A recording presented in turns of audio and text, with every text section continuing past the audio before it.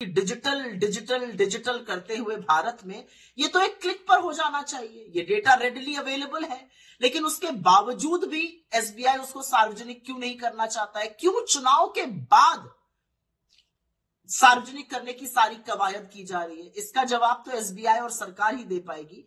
पिछले महीने पाँच न्यायाधीशों की संविधान पीठ ने चुनावी बॉन्ड योजना को रद्द कर दिया और योजना के तहत अधिकृत वित्तीय संस्थान, यानी एसबीआई को 6 मार्च तक 12 अप्रैल 2019 से खरीदे गए चुनावी बॉन्ड का विवरण ईसीआई के वेबसाइट पर पेश करने के निर्देश दिए। भारत के चुनावी बॉन्ड योजना को अवैध घोषित कर दिया गया, जो सत्तावाद का विरोध करने वाले ऑपोजिशन के लिए अदालत में एक दुर्लभ जीत साबित हुई।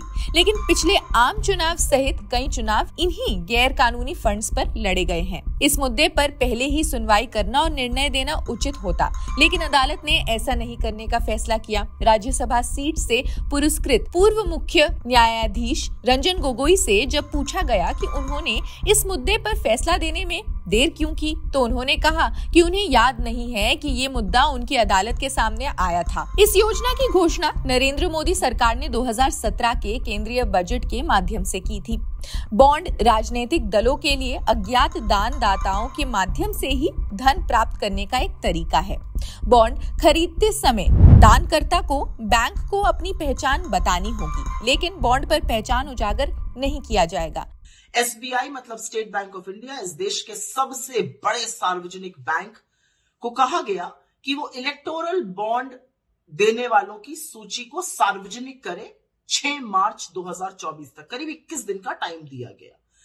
ये कौन लोग थे? क्योंकि सुप्रीम कोर्ट का मानना था कि लोकतंत्र में लोगों को यह जानने का हक है कि किसने किस पार्टी को कितना पैसा और कब दिया है? यही निहित था इस ऑर्डर में। एसबीआई ने अब सुप्रीम कोर्ट से और वक्त मांगा है। एसबीआई का कहना है कि उनको 30 जून तक का वक्त चाहिए इस डेटा को सार्वजनिक करने के लिए। विडंबना यह है कि एसबीआई जिसके 48 करोड़ से ज़्यादा अकाउंट्स हैं, जिसकी करीब छाछठ हज़ार एटीएम्स हैं, जिसकी करीब तेईस हज़ार ब्रांचेस हैं उस एसबीआई को मात्र और मात्र बाईस हज़ार दो सौ सत्रह इलेक्टोरल बॉन्ड का विवरण देने के लिए 136 दिन और चाहिए। ये एक नॉन ट्रांसपेरेंट योजना साबित हुई। राजनीतिक दलों द्वारा भुनाए गए चुनावी बॉन्ड के विवरण का खुलासा करने के लिए सुप्रीम कोर्ट से अधिक समय मांगे जाने के बाद विपक्ष ने सत्तारूढ़ भाजपा और भारतीय स्टेट बैंक यानी एसबीआई पर निशाना भी साधा। कांग्रेस सांसद मनीष तिवारी ने चुनावी बॉन्ड विवरण का खुलासा करने के लिए, समय बढ़ाने की मांग के लिए एसबीआई की आलोचना की और सुप्रीम कोर्ट से बैंक की चालाकी पर कड़ी कार्रवाई करने का आह्वान भी किया। इसे समय लेने वाली प्रक्रिया बताते हुए भारतीय स्टेट बैंक ने सोमवार को सुप्रीम कोर्ट से चुनाव आयोग ईसीआई को चुनावी बॉन्ड की खरीद पर विवरण जमा करने की समय सीमा 30 जून तक बढ़ाने के लिए कहा। तब तक विधानसभा चुनाव की प्रक्रिया समाप्त हो जाएगी। कांग्रेस नेता राहुल गांधी ने इसे लोकसभा चुनाव से पहले प्रधानमंत्री मोदी का असली चेहरा छिपाने का आखिरी प्रयास करार दे दिया। ट्विटर पर हिंदी में एक पोस्ट में राहुल गांधी ने लिखा, नरेंद्र मोदी ने चंदा कारोबार को छुपाने के लिए अपनी पूरी ताकत लगा दी है। जब सुप्रीम कोर्ट ने कहा कि चुनावी बॉन्ड के बारे में सच्चाई जानना देश के लोगों का अधिकार है तो फिर एसबीआई क्यों नहीं चाहता कि ये जानकारी चुनाव से पहले सार्वजनिक की जाए? पूर्व कांग्रेस प्रमुख ने ऐसा भी कहा।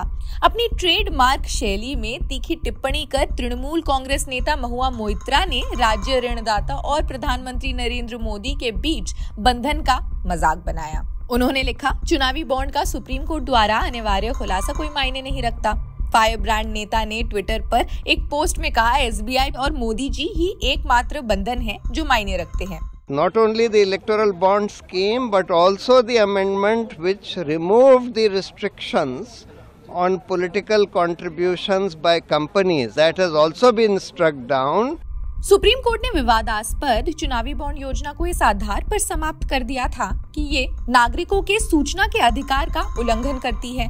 पाँच जजों के संविधान पीठ ने एसबीआई को आदेश दिया कि वो इन बॉन्ड्स को जारी करना बंद कर दे और इस माध्यम से किए गए दान का विवरण चुनाव आयोग की वेबसाइट पर दे दे।